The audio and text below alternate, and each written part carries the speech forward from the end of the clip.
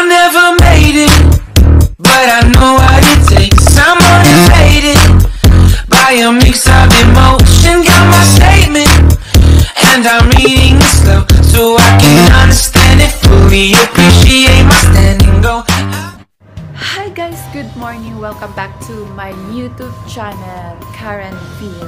So guys, for today's vlog, ipapakita ko po sa inyo yung aking bagong lilipatan na bahay.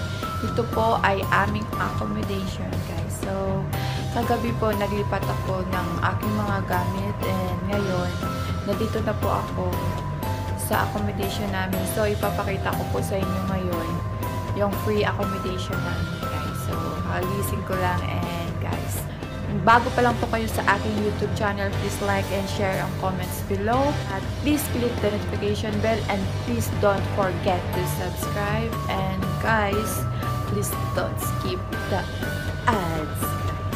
So tara, papakita ko sa inyo yung kwarto na yun. Pero hindi pa siya po ayos.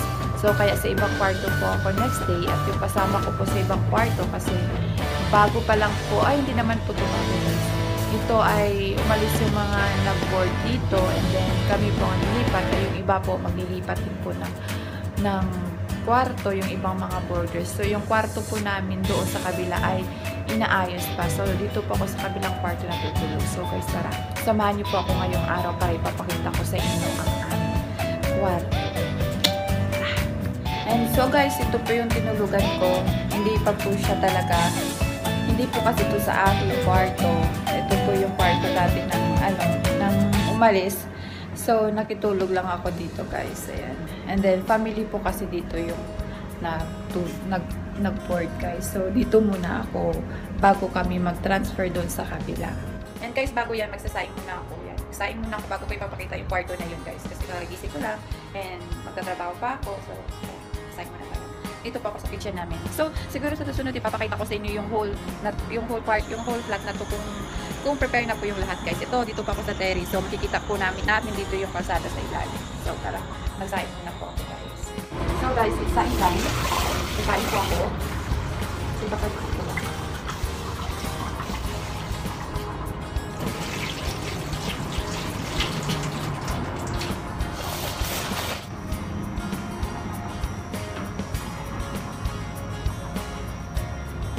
Guys, nagsaing na po ako. Dito ko na lang sinaing hindi sa rice cooker kasi mabatter po yung aking rice cooker, guys. And so, guys, ito po ipapakita ko sa inyo yung kwarto namin, guys. Pero hindi siya talaga ayos. Ito yung door. Sliding door siya, guys. And tara, pasok tayo. Then, ito pa siya, guys. See? Ito pa yung. Yan. And meron siyang door. Yung door na to ay dito. Yung terrace, guys. Yung aircon. Wala pa. Meron kaming aircon pero hindi pa siya nalagay. And ito, yung old aircon na may-ari ng ibang tao. Lilipat nila yan. So, ito pa yung mga gamit ko. So, dalawa kami dito nakasama po sa company. Kaya, maybe mamayang gabi papakita ko sa inyo. Bibigod din. So guys, yun pa lang po yung pinakita ko sa inyo yung empty room na yun. And siguro guys, mamayang gabi, i-continue ko siya. Ipapakita ko sa inyo kung anong mangyayari kasi i-divide ko siya into two dahil dalawa po kami nakasama ko sa company guys. So, sa ngayon, nakabis na po ako and pupunta na po ako ngayon sa aming trabaho. So guys, please watch and please don't skip the ads. Bye! See you again after at night. Hi guys, for second day. So, sinabi ko sa inyo na ipapakita ko sa inyo yung kwarto kung saan kami lilipat. So, kagabi inayos ulit namin at ngayon ipapakita ko sa inyo yung aming kwarto. Pero hindi pa siya ganun katapos. Naglipat-lipat kami ng mga gamit. So, guys, eto na siya. Ito. Yan. This is it. Ito yung door, bagong pumasok at dito ako na area na to. Ito yung aking bed and yung aking phone. Yung parador. So, ito yung hati namin. Yung may cortina. Ito yung hati namin. So, sa isang kwarto, dalawa po kami, guys. So, ito siya, guys. Yan.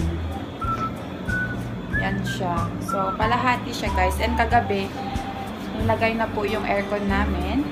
And, syempre, wala pa po siyang takip, guys. Ito na siya guys. And ito, may upuan ako dito para sa akin. Yan, yung sa kanya is mahaba. Ayoko na masyadong malaki, malaking sofa kasi marami akong gamit guys. So, i-prioritize ko yung gamit ko. Tsaka, yung floor, yung floor is wala pa. So, guys, yan na po yung kabuuan. So, ipapakita ko ulit sa inyo kung tapos na talaga siya. Kasi wala pa siyang, yan, 14 lang siya, guys. So. Ayun na, guys, yung room namin. Ito yung hallway namin. Ito yung aming kitchen. Papakita ko na lang sa inyo sa susunod. Guys! Hi, guys! I'm so sorry po sa itsura ko kasi hagal na po ang peg kasi nag-ayos po ako kasi day off po ngayon. So, ipapakita ko na siya yung ang room na hinati namin ng kasama ko sa company. So, eto na siya guys. Ito yung aking corridor. And the things, dyan na. And ito po yung aking main door. Sliding door siya guys. Ito siya. So, ayan siya guys. Sliding door siya. So, nilagyan ko siya ng kurtina. At ito yung aking bed. Yan. Yan yung aking bed. So guys, yan lang po siya kaliit. Isang kwarto lang siya. Kaso nagiging malaki, mali, maliit na siya tingnan kasi malaki King bed siya. Kasi ito po yung kama na binili namin doon. Hinati namin ng kasama ko. Yung sa ilalim na parang bed siya.